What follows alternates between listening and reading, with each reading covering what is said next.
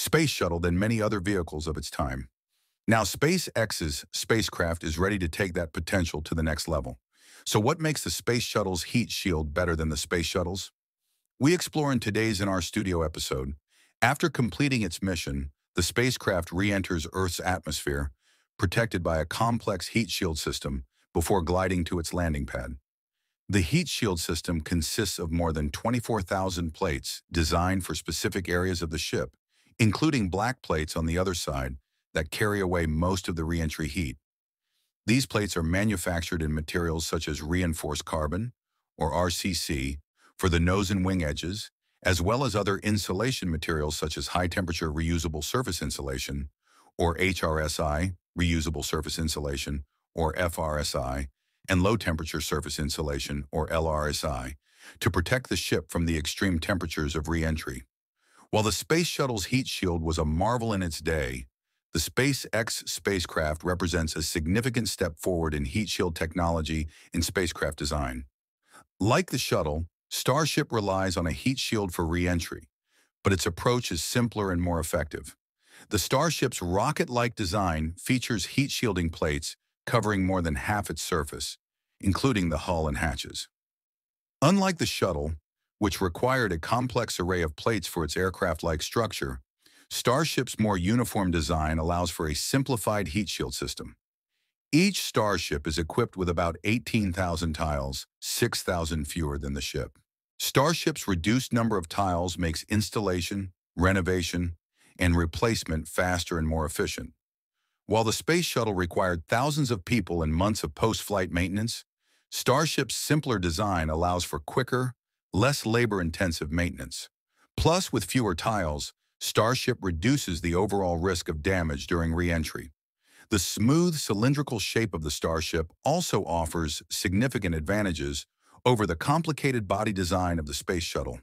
The unique shape of the ship requires custom heat shield plates to fit each section. If damaged, replacing these tiles is time-consuming since each tile is custom-made for its specific location. In contrast, Starship's uniform shape allows for mass production of its hexagonal plates making replacement faster and more efficient. If the heat shield were damaged in this location, it would be difficult to replace. But Starship's uniformity makes it easy to replace the tiles, avoiding the long delays for custom pieces. This not only improves operational efficiency, but also safety, allowing for quick and easy repairs.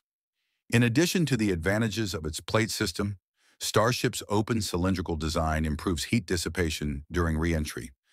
Unlike the shuttle, which relied on the precise placement of special fins, Starship's shape helps improve aerodynamic efficiency and distributes heat more evenly throughout the vehicle. This even heat distribution reduces the risk of localized hotspot damage during reentry. Additionally, the spacecraft's larger surface area relative to its volume increases its drag coefficient, helping to slow the vehicle more efficiently and further protect it during reentry. Another major innovation in Starship's heat shield system is its plate shape. The hexagonal design offers several advantages over the square tiles used on the Space Shuttle. As Elon Musk explains, the hexagonal shape ensures that there are no lost paths for hot gas to accelerate through space, a common problem with rectangular spacecraft.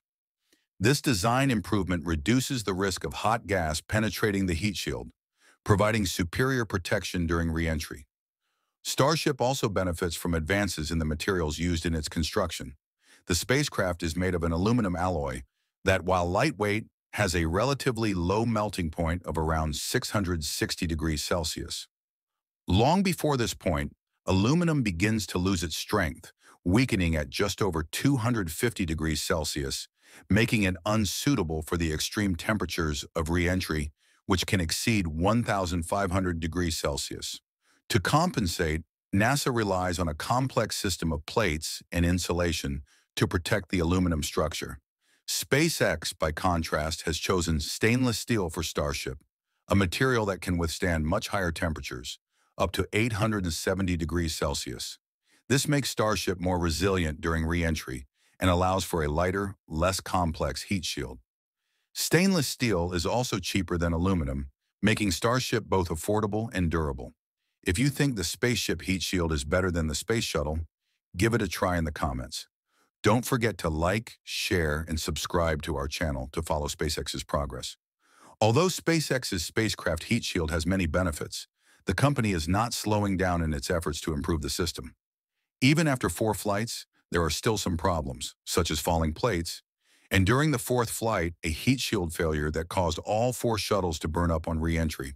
These problems indicate that the heat shield still needs significant refinement, but SpaceX has consistently made upgrades after each setback, pushing Starship's development forward with every flight. It's likely only a matter of time before SpaceX fully optimizes its heat shield system. In preparation for the next flight, SpaceX is already working on improvements, starting with the S-30 prototype for Flight 5. While these specifics of the upgraded heat shield have not been fully revealed, Elon Musk has shared some key details. The new tiles are expected to be twice as strong as the previous version, although this likely doesn't relate to their thickness. Instead, SpaceX has probably altered the composition of the tiles to increase their durability. Additionally, an ablative layer will be added beneath the tiles, providing secondary protection in case any tiles fall off during flight. While these upgrades sound promising, the true capabilities of the new heat shield will only become clear during Flight 5. Scheduled for November, this flight will aim to land Starship in the ocean. The real challenge will come in later flights when Starship is expected to return to Starbase and land on the Mechazilla arm. These tests will provide a clearer picture of how effective the upgraded heat shield is under more demanding conditions. Starting beyond Flight 5, SpaceX plans to continue refining Starship's heat shield system in future versions of the vehicle, such as V2 and V3. Version 2 of Starship is expected to be only slightly larger, so the number of tiles might not increase significantly, However, by version 3, when the height of the ship reaches nearly 70 meters, the number of tiles will likely rise substantially. Given the simplicity and uniformity of the tiles, SpaceX should have no trouble scaling up production. Starship will need more attention to improving the stability of the plates, especially since Starship will not only fly in low Earth orbit like V1 or visit the International Space Station like the Space Shuttle. Starship is intended for longer, more difficult journeys, including missions to Mars and beyond. Improving the durability of the heat shield is critical not only for individual missions, but also for achieving SpaceX's long-term goal of making Starship fully reusable. As Musk has emphasized, the heat shield will need to be reused multiple times, not just for a few flights like current spacecraft. Musk has set ambitious goals for Starship, including the possibility of daily flights. While it is possible to replace the plates after each flight, if the plates suffer serious damage, SpaceX aims to minimize plate replacements to speed up the turnaround time. Rapid reuse of the heat shield will be critical for SpaceX's broader missions, especially as the company prepares for more frequent and complex flights. All of these improvements are part of SpaceX's larger Mars strategy. Musk has set several ambitious goals, including landing the first spacecraft on Mars within the next two years sending humans to the Martian surface within four years, and creating a city on Mars within 20 years of the first crewed mission. To achieve these goals, SpaceX will need to transport about 1 million tons of cargo to Mars. In each of these plans, Musk emphasizes the importance of increasing the steal rate. Regular and reliable flights are essential to stable operations, especially since Mars launches only occur every two years. This requires a ship that can be reused many times, reinforcing the need to further improve the heat shield. In conclusion, while SpaceX's Starship heat shield has made significant progress, continued development is critical to the company's broader goals of rapid reusability in interplanetary travel. With continued improvements, SpaceX is positioning itself to meet the challenges of exploring Mars and beyond. The need for Starship's heat shield to outperform previous systems, like the Space Shuttle, is critical to enhancing reusability. Starship already has major design advantages, but these will be tested on the more challenging missions it plans to undertake, particularly a trip to Mars. The heat shield will play a critical role in protecting the spacecraft from the extreme conditions of space and reentry. As SpaceX refines this system, these improvements will be critical to making Starship fully reusable, essential for long-term goals like interplanetary travel. Future developments in Starship's heat shield will be critical to meeting the enormous challenges that lie ahead. Let's see how it goes. For now, that's it for today's episode. Thank you very much for watching. See you in the next episode.